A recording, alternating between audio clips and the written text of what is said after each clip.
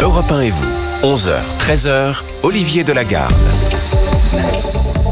Allez, on passe à cette histoire euh, à peine croyable, celle de Christophe Kider, braqueur multirécidiviste en prison depuis 1995.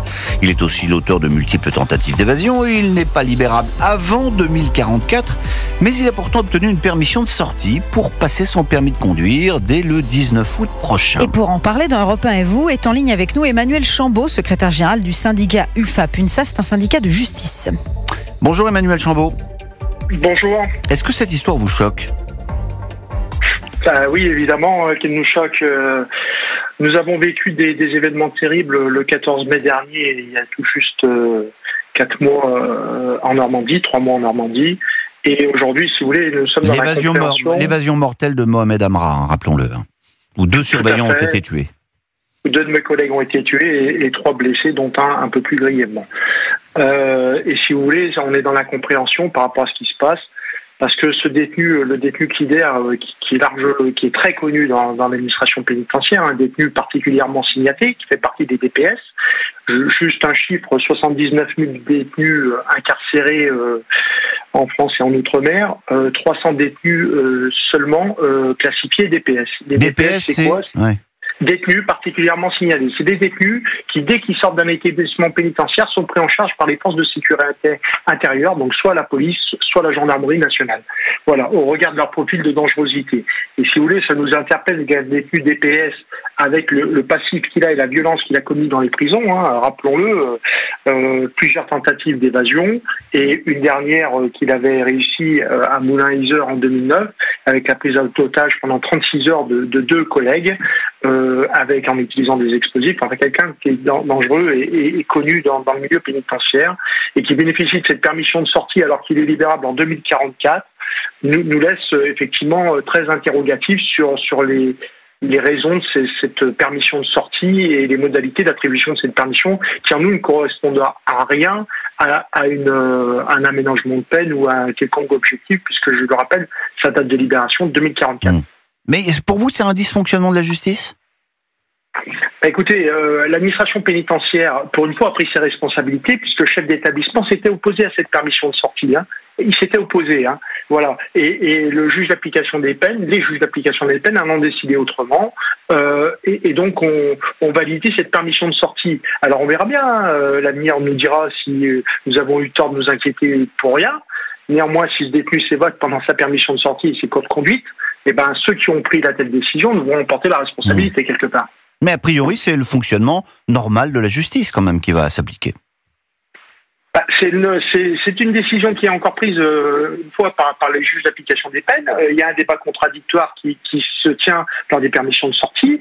Euh, l'administration pénitentiaire avait émis un avis négatif sur cette permission de sortie. Les magistrats en leur en conscience, n'en ont pas tenu compte et donc ont validé cette permission de sortie.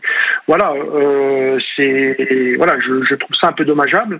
Mieux que les personnels de surveillance qui emmènent, qui sont au contact au quotidien des, individus qu'on garde, ont, un regard objectif sur, sur la possibilité d'octroyer ou pas une permission de sortie, même si la décision finale, bien sûr, revient au, au juge d'application des peines. hein.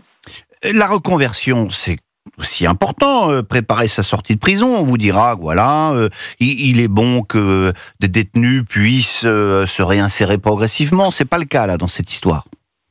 Bah, non, si vous voulez, nous, on n'est pas contre la réinsertion. La réinsertion fait partie de nos missions. On a une mission de sécurité, une mission de réinsertion. Donc la réinsertion et des aménagements de peine, ça se fait quotidiennement dans les établissements pénitentiaires. Encore une fois, ce qui nous interpelle, c'est le fait que ce détenu-là soit au répertoire des détenus particulièrement signalés. Donc, ça nous interroge parce que on, a vécu un drame. Alors, je fais un parallèle avec le drame. Pourquoi? Parce qu'on est en train de revoir les escortes pénitentiaires quand on sort les détenus des établissements pénitentiaires. Et aujourd'hui, on est en train de nous dire que finalement un DPS, qui est le plus haut du spectre, le plus dangereux, peut sortir sans personne. Si vous voulez, ça m'inquiète. On a déjà eu deux collègues qui ont été tués, trois qui ont été blessés. J'ai pas envie de revivre ça. Et ce type de, permission accordée, si vous voulez, à ce détenu qui est encore aujourd'hui DPS, nous interroge et nous interpelle quant à la sécurité de- des personnels quand ils vont sortir, puisqu'on estime, les magistrats ont estimé qu'ils avaient besoin de personnes pour sortir. Mmh. Voilà. Mais ça veut dire que pour vous, un détenu, euh, un DPS, un détenu particulièrement signalé, ne devrait pas bénéficier de permission? Bah, écoutez, à un moment donné, si le détenu qui est classé DPS peut euh, rentrer dans un, un programme d'aménagement de peine, c'est que son niveau de dangerosité a baissé. Dans ce cadre-là, eh ben, l'administration pénitentiaire, elle doit revoir le niveau de dangerosité de, de, de l'individu. Aujourd'hui, au moment où on se parle, l'administration pénitentiaire n'a pas jugé bon d'abaisser le niveau de dangerosité du détenu Kider, c'est qu'elle a des motifs euh, réels pour ne pas l'avoir fait. Voilà. Donc je, voilà, moi je dis simplement, nous sommes des professionnels. Nous avons, dans le cadre de nos missions, l'observation, la réinsertion et la sécurité euh, des établissements pénitentiaires et, des personnes que nous prenons en charge. Et aujourd'hui, ce détenu est, un, DPS. Et tant qu'il est DPS, effectivement, euh, le fait d'accorder une permission de sortie à un DPS, alors que le même individu sortira à l'hôpital escorté d'au moins 6 à 10 policiers, nous interpelle. Est-ce que vous attendez quelque chose euh, du ministre, ministre démissionnaire en ce moment? Écoutez, euh, on travaille actuellement sur le relevé de, de décision qu'on a fait avec le ministre suite aux événements dramatiques du mois de mai. Alors effectivement, quand on va se rencontrer, on va remettre ça sur la table parce qu'on a une réelle difficulté sur ces missions dès lors qu'on sort des détenus. Alors là, j'allais dire, on pourrait très bien dire finalement ça ne nous concerne pas puisque ce détenu va sortir libre. Il va sortir libre, donc il ne mettra pas en danger l'institution et les personnels pénitentiaires. Néanmoins, il peut fragiliser euh, le travail qu'on est en train d'effectuer sur le niveau de, renforcement des escorts, tel qu'on est en train de le définir avec le, directeur d'administration pénitentiaire, suite à l'événement dramatique d'un mmh. Et la et, l'évasion mortelle de, de, Mohamed Amra, où deux surveillants, rappelons-le, ont été tués. Euh, euh, Mohamed Amra est toujours en fuite. dans quel état d'esprit sont les, les surveillants de la pénitentiaire trois mois après ce drame? Écoutez, c'est compliqué. Hein. Je vous cache pas qu'aujourd'hui, euh, bon nombre de collègues qui effectuent ces missions euh, se posent des questions.